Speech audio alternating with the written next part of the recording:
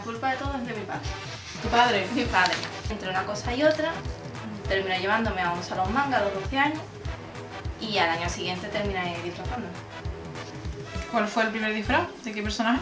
De Yuna de Final Fantasy X. Y te dice, niña, ¿qué dice disfraz ni disfraz? Eso es cosplay, que tú no eres cosplayer. ¿Y Es el disfraz de mi padre. que se lo hizo para él. La foto de WhatsApp de mi madre es mía disfrazada. Antes había muy poca gente. Es mucho más grande ahora. Y por suerte ya la gente no te mira más cuando entra a ese tipo de sitios, sino que lo ven como algo más natural. Normalmente la gente no dice nada, normalmente se te queda mirando, paran los coches así de repente, y paran los coches y empiezan a señalarte, pero no dicen nada. Normalmente, hay veces que sí que coincide, pero normalmente no encuentro a nadie que lleve mi traje. Me han dicho que daba igual, que no tuvieran ni idea de que iba a disfrazar, pero normalmente voy de cosas muy extrañas pero que aún así se veía todo el cariño que le pongo y todo el esfuerzo y que merece la pena pasar por mi lado para verme al menos. Las pelucas tienen que ser por internet, porque por aquí no hay. Las lentillas tienen que ser por internet. No es tan caro como mucha gente cree. Es caro si vas a lo loco y te compras lo primero que ves en cualquier sitio. Entonces sí es caro.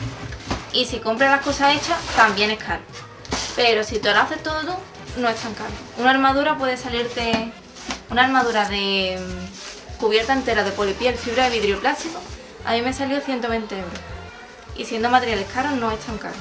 Si te digo la verdad me siento súper orgullosa. Porque es como hace dos meses yo no era capaz de, de coger una aguja y meter el hilito, yo no era capaz de llorar.